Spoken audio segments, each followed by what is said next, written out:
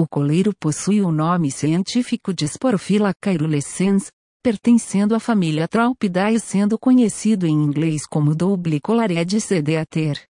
Ele também é conhecido como coleirinho, coleirinha, papa capim, papa arroz ou coleiro tuituí. A sua criação é muito difundida no Brasil, fazendo com que estes pequenos pássaros cantores sejam muito conhecidos. Também é importante falar que é necessário fazer o registro de sua criação junto ao IBAMA.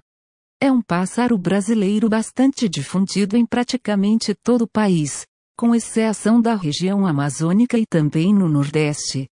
O pássaro coleiro está presente praticamente em toda a parte centro-sul do Brasil e em alguns países vizinhos, vivendo basicamente em beiradas de matas, pomares, pastos, brejos, capoeiras e praças da cidade, podendo viver em grupos de 6 a 20 indivíduos.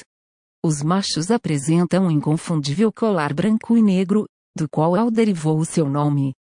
Além deste colar, ele possui ao lado da garganta negra uma espécie de bigode branco, que define a área sob o bico, que é amarelado ou levemente cinza esverdeado. Existem machos com peito branco e outros num tom amarelo. A fêmea é parda, tendo uma cor mais escura nas costas.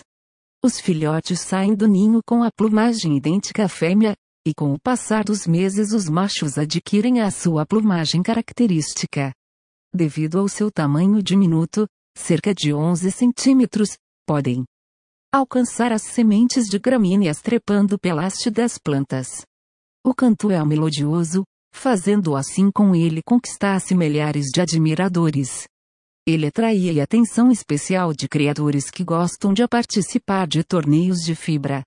Se o seu pássaro não estranha lugares novos, ou seja, chega no lugar e já começa a cantar, e também suporta a pressão de ter outros coleiros cantando na cara dele, então possivelmente ele é de fibra.